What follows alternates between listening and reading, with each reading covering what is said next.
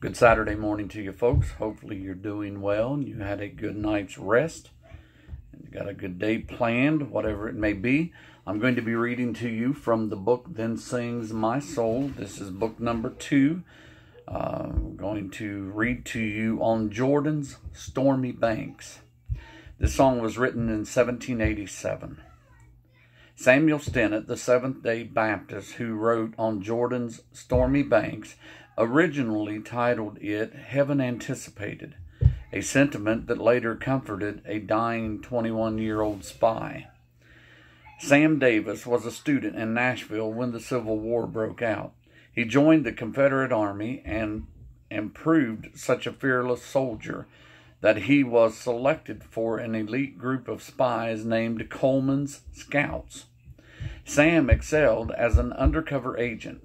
Once he even shared a table at Nashville's St. Cloud Hotel with General William Rosecrans, listening to a discussion of Yankee battle plans. In November 1863, Sam was seized in Giles County, Tennessee, and thrown into jail. The maps and papers under his saddle exposed him as a spy.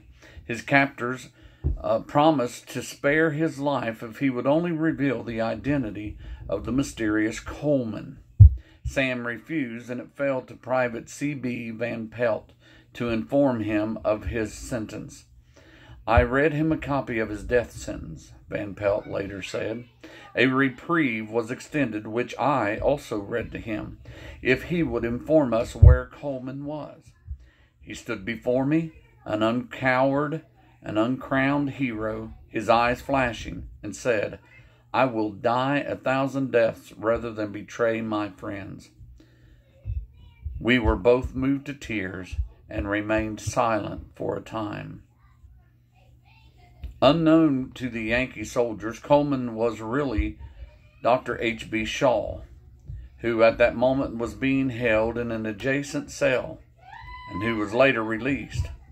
On the eve of his execution, Sam wrote to his dear mother, saying, Oh, how painful it is to write to you.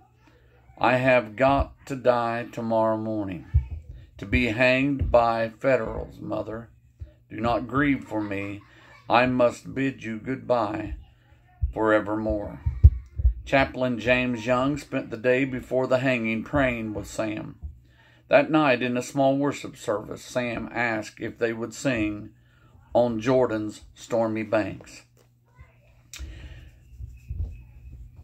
Later, Young said he would never forget the young soldier's animated voice as he sang, I am bound for the promised land. I am bound for the promised land. Today, there is a monument honoring Sam Davis on the grounds of the Tennessee State Capitol. Underneath are the words, Greater love hath no man than this, that a man lay down his life for his friends. There's a lot there in that in that uh, reading. It said that there was a uh, a group of soldiers that were there standing off in the distance that could hear this young man say, I will uh, never betray my friends. And if you could imagine receiving a letter from uh, your son saying that uh, he was going to die the next morning, but the great thing was that he uh, could tell her that he was bound for the promised land. So someone asked me last week, um, I've been able to go back into the rest homes and sing some, and someone asked me to sing this song there, so uh, we did, and we'll try to sing it here too. If I can read these words, they're kind of little. On Jordan's stormy banks I stand and cast a wishful eye to Canaan's fair happy land where my possessions lie. I am bound for the promised land. I'm bound for the promised land.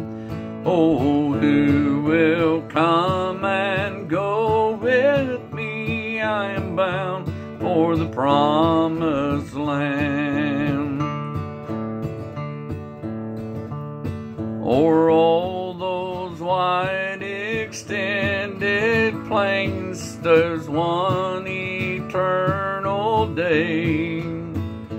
There God the Son forever reigns and scatters night away. I am bound for the promised land.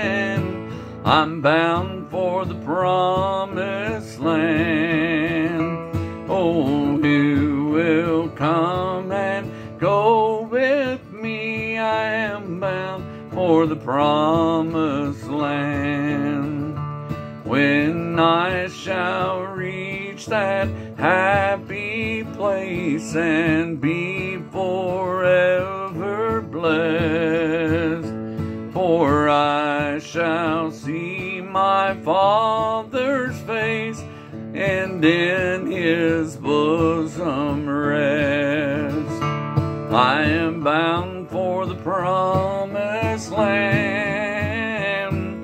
I'm bound for the promised land.